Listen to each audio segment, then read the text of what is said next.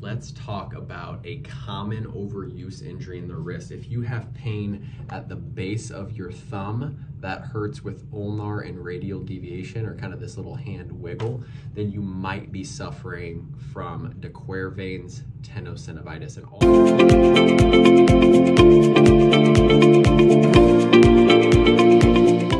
that means is like, it's named after some orthopedic surgeon that named it, found it out, but it's basically inflammation in the tendons at the base of the thumb. A lot of times we see that in our population, you know, maybe they go on a long skiing trip and it's like that motion, or it's also in our moms, you know, people or caregivers that are constantly picking up young kids. It's a lot of this.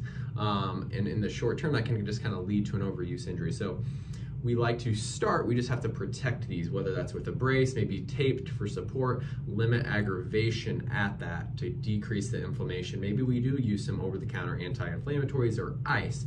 And then as we get back into the activity, we have to limit any overuse and we also can add in I like to use this Therabar this is super helpful for wrist and elbow complaints but if you kind of grab it like this if you get one of these on Amazon and then we can kind of strengthen up this and back and nice, slow and controlled with both the bent elbow.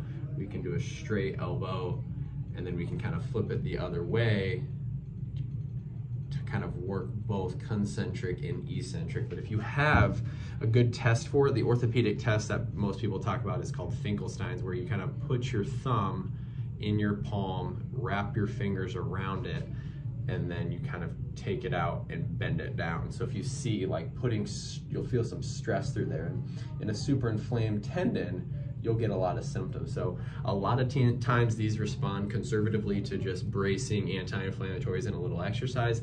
And in the cases that they don't, honestly, uh, a steroid injection right in there is super, super helpful. So this is a common overuse injuries. We see it in our active adult population, whether they're going on a skiing trip, taking care of young kids, this can cause irritation in that area. The only other thing we have to be careful is if you've fallen, like it's kind of, you know, we're in the winter time here, falling on the outstretched hand, there's a bone that kind of sits in what's called that anatomical snuff box, and that's called your scaphoid bone. We have to make sure that that's not fractured. So we don't really see de Quervain's in a trauma case. We have to be thinking fracture, but if it's an overuse injury, um, skiing, caregiving, etc., then we're thinking de Quervain's. We're thinking it's the most common overuse injury in kind of this area at the base of your thumb. So, you know, you can test yourself at home with a little Finkelstein's and then kind of brace it, take it easy. We can obviously help with some rehab and some hands-on treatment, but